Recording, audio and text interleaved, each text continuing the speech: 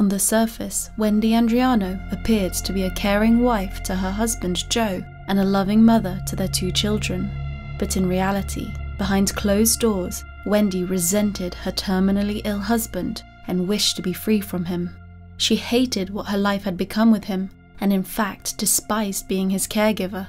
As her husband's health slowly deteriorated at home, Wendi did everything in her power to try and get a life insurance policy for him but as Joe was too sick, no company would go through with it, and so she failed time and time again. But then, in the early hours of the 8th of October, a fed up Wendi decided to take things into her own hands and to end Joe's life prematurely, as things were not moving fast enough in her opinion.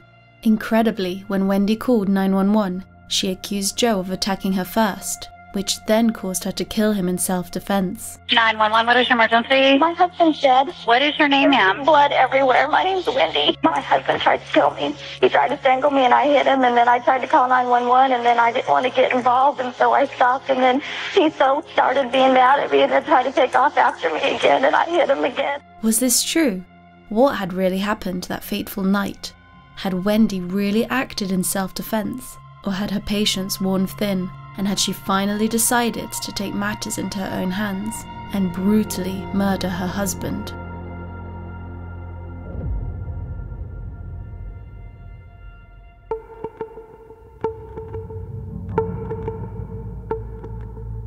Wendi Elizabeth Ochoa was born on the 6th of August 1970 into a very religious household. Her family travelled around a lot for ministry, which was difficult on her childhood but despite all this, Wendi still excelled in school. Wendi herself described her upbringing as extremely strict, and she once claimed that her father sexually assaulted her. But when asked about the event, she said she could not remember it, and so people were unsure if this was true or maybe even a dream. In January of 1994, Wendi married a man called Joseph Andriano, and they had two children together, where they then settled in Phoenix, Arizona. Four years into their marriage, however, Joe fell very ill and he tried to heal himself through holistic therapy, but this was unsuccessful. After undergoing three surgeries to try and remove a recurring tumour in his salivary gland, as well as multiple misdiagnoses, Joe was finally diagnosed with metastatic adenoid cystic carcinoma in 1998. By this time, the cancer had spread to his lungs and his condition was deemed terminal and so in the year 2000, he finally agreed to try chemotherapy. Joe's condition did not improve, however, and Wendi naturally became his caregiver alongside her job as an apartment manager. But Wendi quickly began to resent her increased responsibilities. In her mind, this was not the life and the marriage she had signed up for. She was still a young 30 year old and now was forced to look after her two young children as well as her sick husband. She wanted a different life.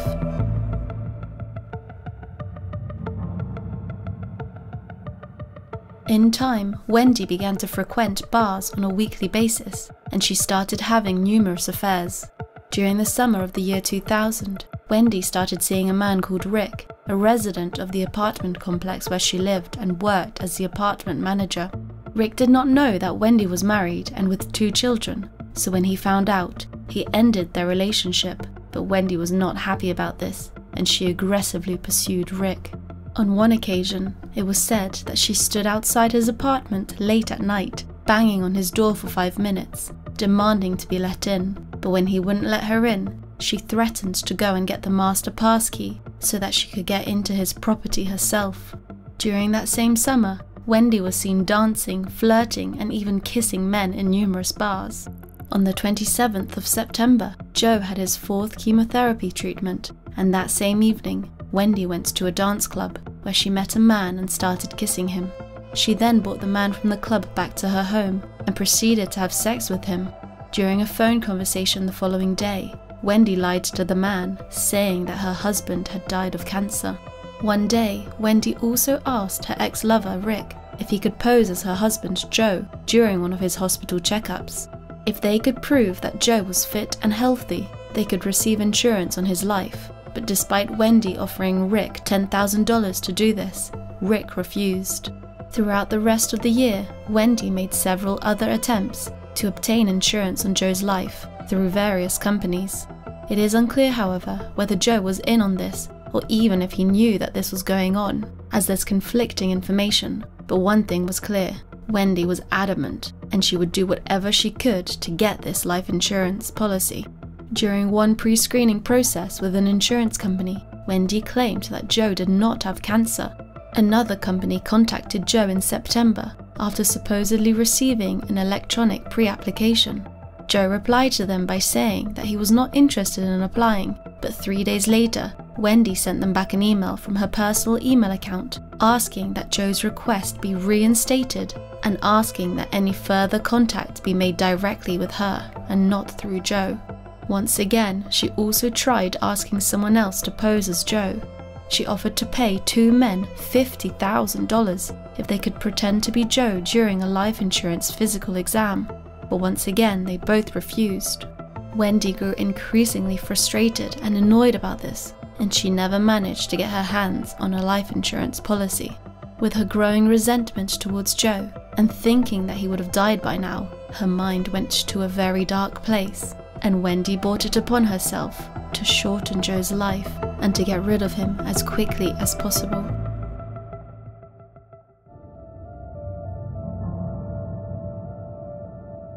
On the 7th of October 2000, Wendi, Joe, and their two small children attended a barbecue at a friend's house. They returned to their apartment around midnight and they put the children to bed. At about 2:15 a.m. on the 8th of October, Wendi called a co-worker of hers called Chris, who also lived at the apartment complex. Wendi asked Chris if he could come around their apartment and watch the children so that Wendi could take Joe to the doctor, as he apparently wasn't in a good state.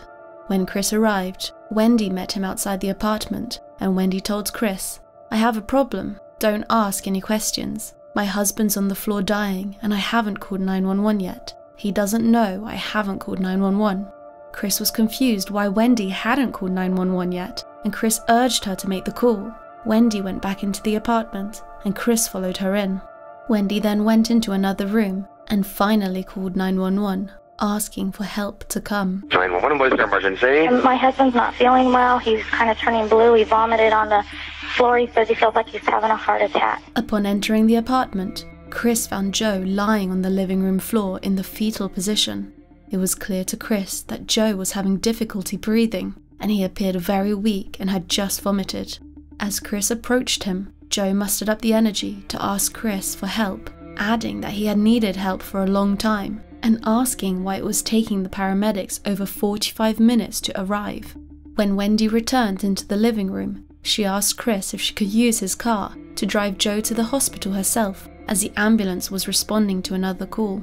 Wendi then tried to help Joe get to his feet, as he was too weak to do so himself, but when she was unable to get him up, Wendi started shouting at Joe and calling him names and being aggressive towards him. Chris then heard some sirens from outside, so he left the apartment in order to flag them down and to tell them where to go. As the paramedics were unloading their equipment, Wendi ran out of the apartment and shouted at them, telling them to go away, and she then ran back into her home and slammed the door behind her. Chris and the four paramedics were immediately confused by Wendi's reaction, and they started knocking on the apartment door, but no one answered. After five to ten minutes of knocking, the paramedics called the Phoenix Fire Department alarm room. The alarm room then proceeded to call Wendi's home in an attempt to get her to open the front door. After a few minutes, the alarm room told the paramedics that they had successfully made contact with Wendi and that she was coming outside to speak with them.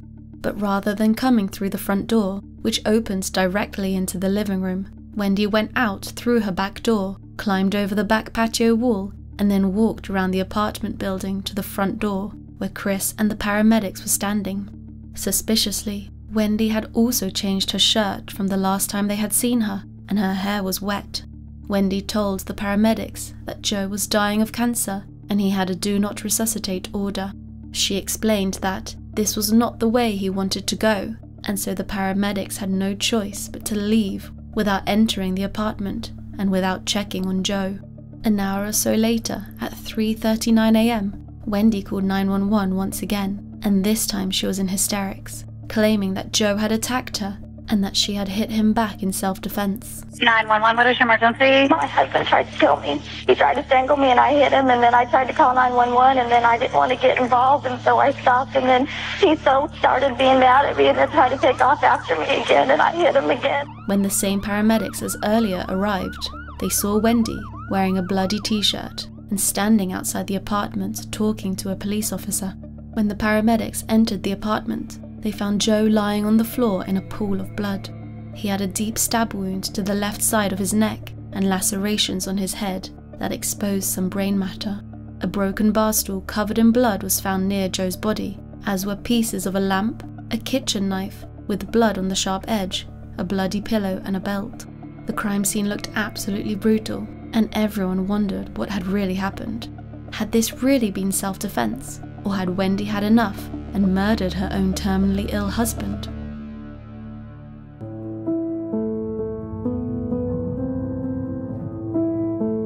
Wendi claimed that that night she was attempting to assist Joe in taking his own life when they both got scared and decided to call for help. She claimed that after 911 was called, and once Chris had left the apartment to meet the paramedics, Joe decided that he still wanted to follow through with the plan. She said that after the paramedics left, she finally admitted to Joe that she had had an affair. Joe then became violent and tried to choke her with a phone cord, but she was able to reach a knife, cut the cord, and free herself. When she put the knife down, Joe bent over to pick it up, grabbing it, saying that he was going to kill himself. In order to stop him, she started hitting him with the bar stool. She claimed that in all the struggle, her hand slipped off the knife and that suddenly there was blood everywhere. She denied that she had stabbed Joe and that ultimately Joe had slit his own throat. Initially, Wendi managed to escape suspicion, but the investigators couldn't ignore the inconsistencies in her story. As they dug deeper, they uncovered shocking evidence that painted a different picture of the grieving widow she was playing. Investigators looked through Wendi's recent internet search and they discovered that Wendi had searched online for lethal doses of prescription drugs just days before the murder. A further search of Wendi's storage unit revealed an open cardboard shipping box containing a 500 gram bottle of sodium azide, two Tupperware containers containing sodium azide, nine Q tips, a plastic knife and fork, and two pairs of latex gloves. Wendi's fingerprints were found on some of these items. Investigators also searched through Wendi and Joe's apartment and they found gelatin capsules filled with sodium azide in a bottle labeled for herbal supplements. Trace amounts of sodium azide were also discovered in the contents of a pot and two soup bowls in the kitchen. In all, 20.8 grams of sodium azide could not be accounted for. However, trace amounts of it were found in Joe's blood and gastric contents. Police suspected that maybe Wendi had been trying to poison Joe in the days leading up to the 8th of October. The autopsy also determined that Joe had sustained brain hemorrhaging caused by no fewer than 23 blows to the back of his head, 8 to 10 of which independently could have rendered Joe unconscious. Defense wounds on Joe's hands and wrists indicated, however, that he was conscious for at least part of the attack. Joe also sustained a 3 and 3 quarter inch long by 2 inch wide stab wound to the left side of his neck that extended to his spine and severed his artery. The medical examiner suggested that the blows to Joe's heads were likely sustained before the stab wounds to the neck and that Joe was likely unconscious when he was stabbed, proving he could not have done it himself, as Wendi had claimed. The blood splatter at the crime scene also showed that Joe was lying down while he was being struck and he did not get up during the attack. It was clear to investigators that this had been a brutal crime and that Wendi's account of what had happened that fateful night was far from the truth. The attack on Joe had been so brutal and Wendi was obviously lying. So, with all the growing evidence against her, she was taken into custody on suspicion of first degree murder.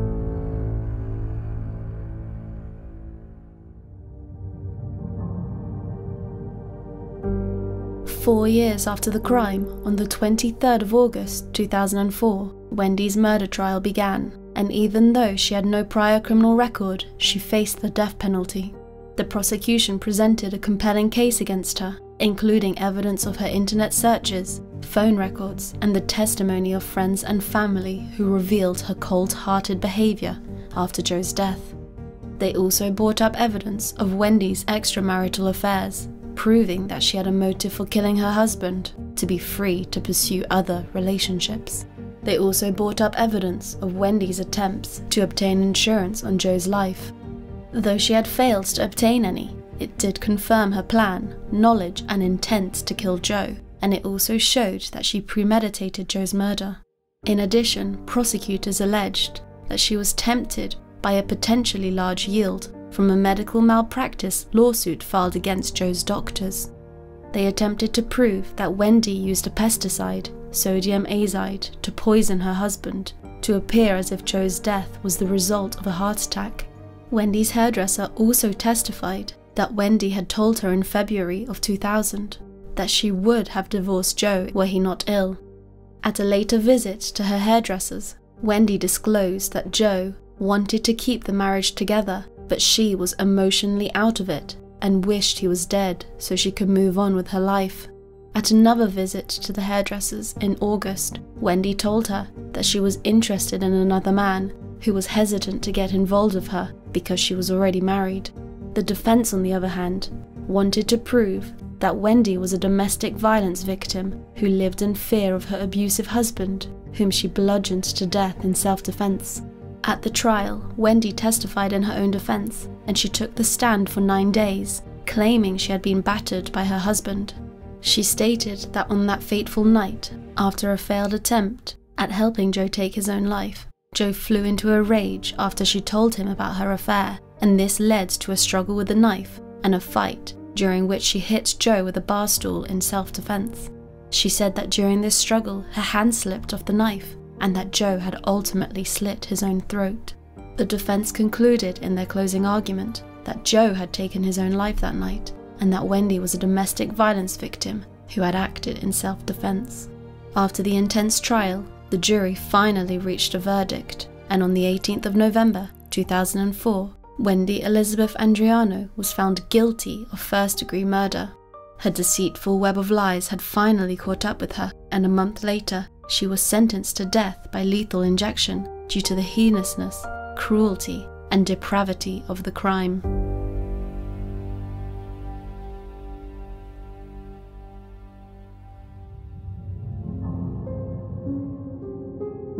In 2007, Wendi filed a post conviction appeal claiming that evidence of her affairs and efforts to buy life insurance policies for her husband unfairly prejudiced her in front of the jury.